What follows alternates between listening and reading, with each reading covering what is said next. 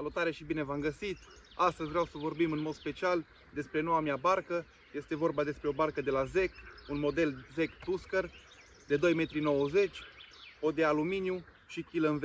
O barcă special concepută pentru pescuitul la somn plantat pe ruri sălbatice. Barca suportă o greutate de aproximativ 500 de kilograme. Un lucru foarte important și unul dintre cele mai mari plusuri la acest model de barcă este podina de aluminiu care extraordinar de rapid se montează pe fundul bărcii. Bineînțeles, este o barcă foarte puternică și suportă un motor de până la 15 cai putere. Chiar dacă vorbim de o barcă de 2,90 m, cu kil în V și cu podea de aluminiu, credeți-mă pe cuvânt, barca nu este deloc grea. În aproximativ 5 minute am reușit să o asamblez singur și tot singur am pus-o și la apă. Barca este compusă din patru compartimente, baloanele din lateral, fața și bineînțeles chila în V, la fel gonflabilă. Barca mai vine în dotare cu aceste supape de suprapresiune foarte importante. În momentul de față este vorba de o barcă cu podină de aluminiu, o barcă foarte stabilă. Îmbinarea dintre compartimente este foarte bine sudată, aproape că nu se observă deloc sudura dintre cele două compartimente, dintre cel lateral și față, ceea ce ne conferă că barca este făcută din materiale foarte, foarte bune și foarte rezistente. Sistemul de vâsle este un sistem foarte bine lucrat, aproape toate componentele sunt din aliaj, după cum puteți vedea și filetul o să aibă o viață de lungă durată, este, este din aliaj,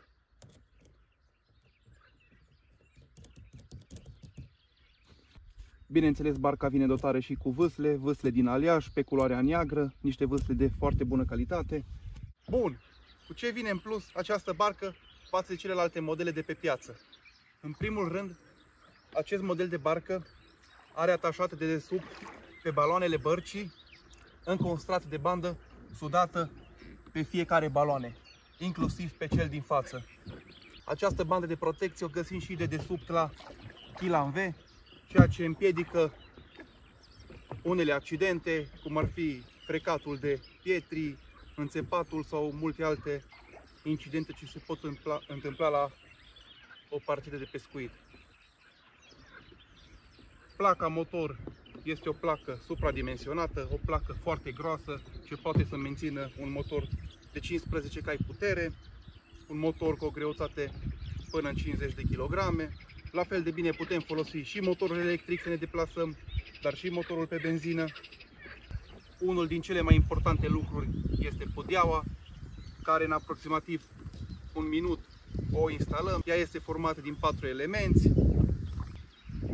Una din cele mai late bărci, avem spațiu suficient, avem spațiu pentru baterie, spațiu pentru rezervorul de benzină, spațiu pentru găleată de caraj,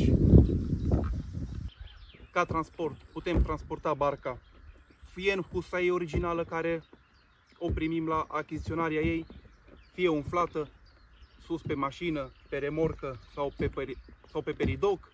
Ea dispune și de, și de vâsle, vâsle de, vâsle de înaltă calitate, de culoare neagră, cu suport de vâsle, bineînțeles și de băncuță. Aproape că nu observăm deloc sudura între compartimentele bărcii. Este o barcă foarte bine sudată, foarte bine echilibrată. Practic, o avem de toate. Se poate folosi atât la pescuitul staționar, cât și la clonc. O putem încărca cu bagagerie, să ne mutăm de pe un loc pe altul fără să folosim mașina. Pur și simplu ne urcăm în barcă, încărcăm saci de dormit, paturile, lansetele și ne dăm drumul cu barca în căutarea locurilor noi.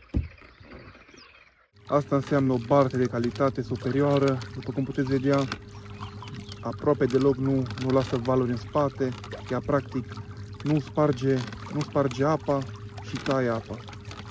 Foarte puțin zgomot și reușim să fim foarte silențioși, un lucru foarte important în pescuitul somnului.